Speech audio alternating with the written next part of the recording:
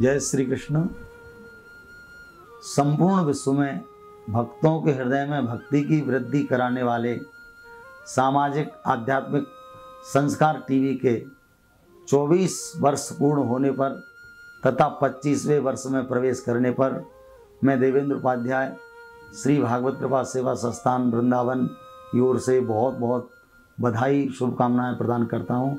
Radhe Radhe.